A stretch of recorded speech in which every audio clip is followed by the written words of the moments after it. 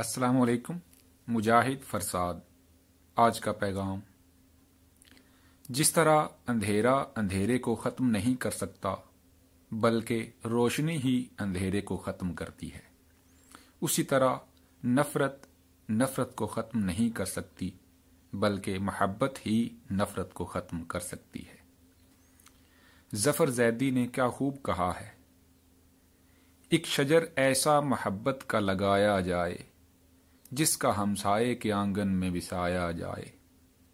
देखना यह है कि कौन आता है साया बनकर। धूप में बैठ के लोगों को बुलाया जाए। फ़िक्र ख्याल और इख्तलाफात के मुसनफ़ कौन हैं? ये दोनों किताबें मोहम्मद अनवारुद्दीन अनवर सदीद की हैं। डॉक्टर अनवर सदीद का असल नाम मोहम्मद अनवारुद्दीन था।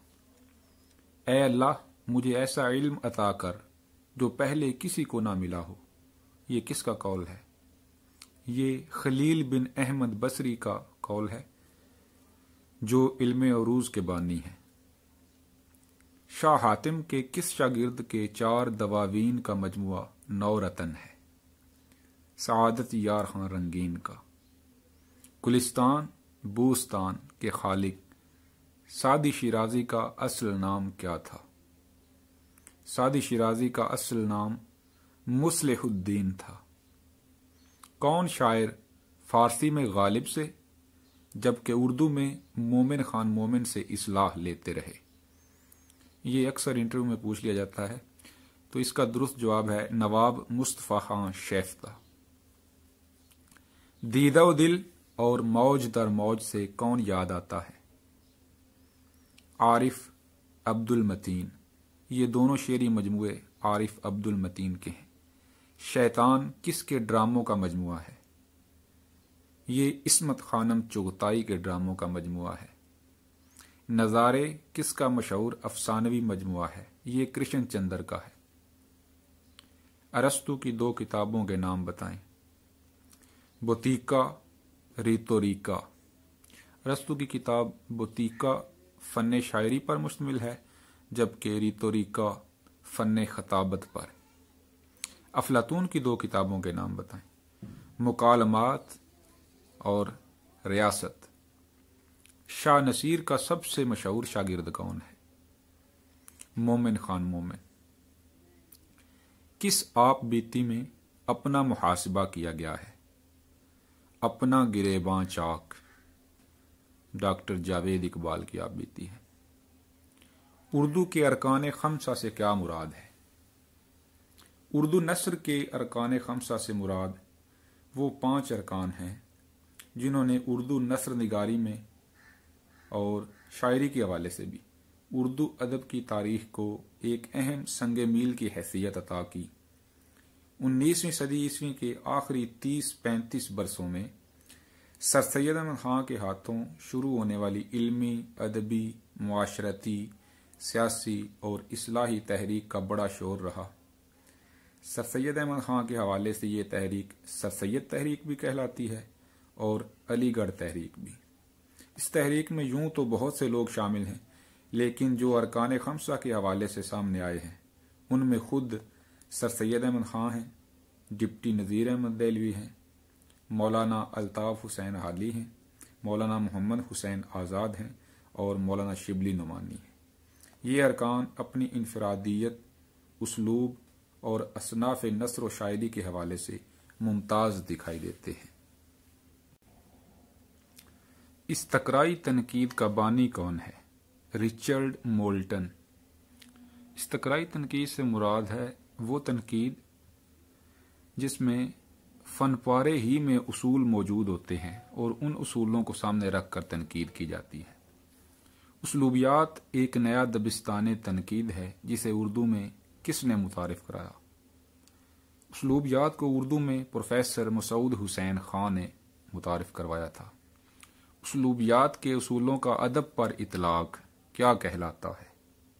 उसलूबियात के असूलों का अदब पर इतलाक उसलूबियाती तनकीद कहलाता है।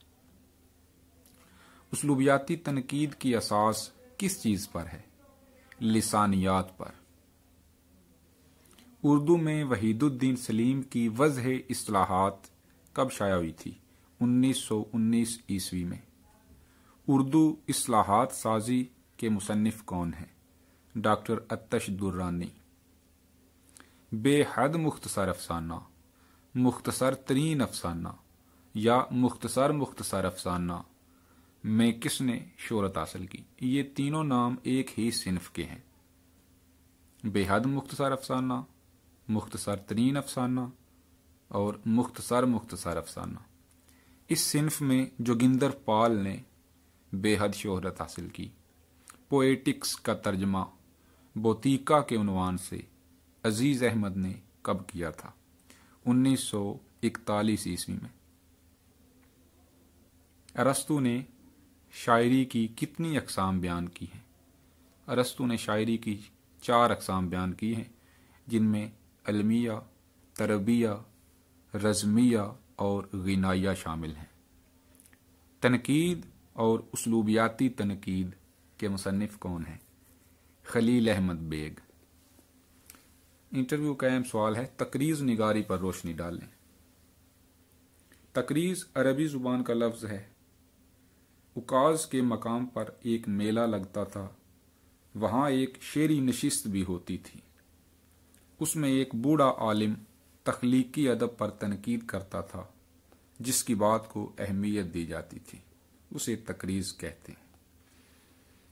इसी तरह आजकल दूसरी तसानीफ पर तबसरा करना, उनके बारे में अपनी राय देना तकरीज के जुमरे में आता है। नरगसियत के बारे में आप क्या जानते हैं? ये भी इंटरव्यू में पूछ लिया जाता है। नरगसियत यूनानी असलाह है, जिसमें शहजादा नरगिस एक झील में अपनी हसीन सूरत देखकर खुद ही अपनी सूरत पर फिदा हो गया और इतना महव हुआ कि आखिरकार उसकी मौत वाक़ हो गई और वहाँ से एक झाड़ी निकली जिस पर आँख की शक्ल का फूल उगा हुआ था। उसे नरगिस का फूल कहते हैं। उसकी शक्ल इंसानी आँख से मुशाबा होती है। जबकि असलाह में नरगसीत से मुराद अपनी ज़ात या खुद पसंदी का अलमनाक अंजाम लिया जाता है।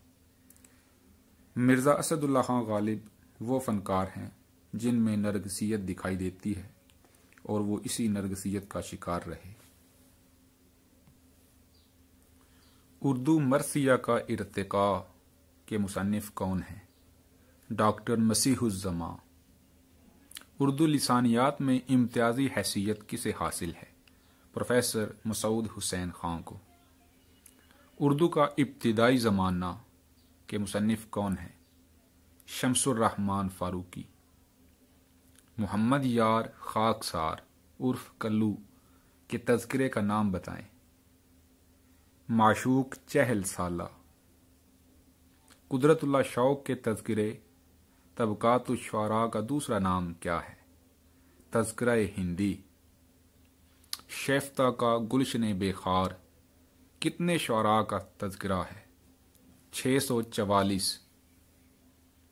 सरापा सुखन में कितने शुरा के सरापा के मुतलक अशार हैं?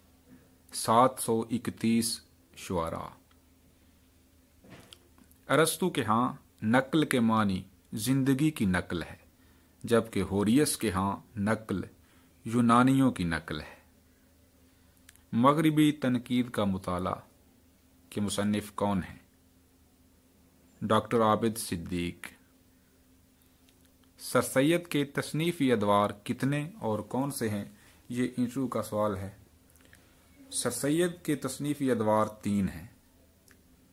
इब्तदा से जंग आज़ादी, यानी 1817 ईस्वी से अठारह सौ सतावन ईस्वी तक। और दूसरा दौर जंग आज़ादी से लेकर इंग्लिस्तान रवानगी तक, यानी अठारह सौ सतावन ईस्वी से अठारह सौ उनहत्तर ईस्वी तक। और तीसरा दौर 1870 ईस्वी से वफात, यानी अठारह सौ अठानवे ईस्वी तक है। प्रोफेसर हमीद अहमद खान के मुताबिक नुस्ख हमीदिया में कितनी गज़लों में गालिब तखलुस आया है? अड़तीस गज़लों में।